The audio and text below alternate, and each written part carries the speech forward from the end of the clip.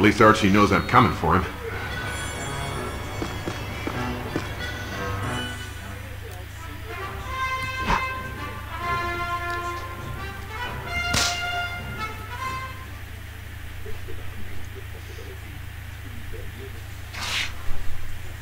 I got inside the factory, but I wasn't exactly subtle about it.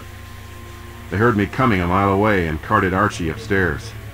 But they left his granddaughter Susie in one of the assembly rooms. When I saw her, it all became clear. Archie would never let a bunch of goons order him around, unless he thought his granddaughter was in danger.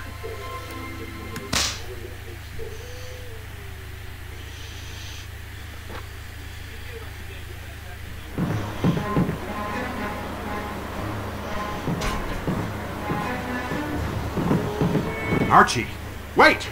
Indy, find my granddaughter. Enough! Take him to the roof!